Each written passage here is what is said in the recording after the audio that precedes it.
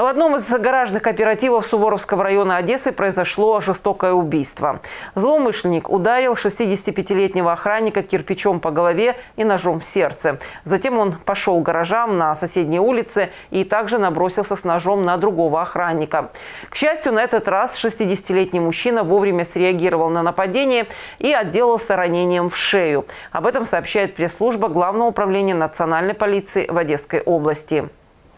Почти одновременно в полицию поступили два сообщения. От прохожих, которые случайно обнаружили бездыханное тело первой жертвы, и представителей охранной фирмы, которые отреагировали на сигнал тревожной кнопки. Ее успел нажать второй пострадавший. Полицейские сразу же задержали правонарушителя и доставили в Хажибеевское отделение полиции. В том, что произошло, 30-летний житель Беляевки винит наркотики, которые, по его словам, он употреблял накануне. Следователи сообщили задержанному о подозрении. На данный момент ведется следствие и решается вопрос об избрании меры пресечения фигуранту дела.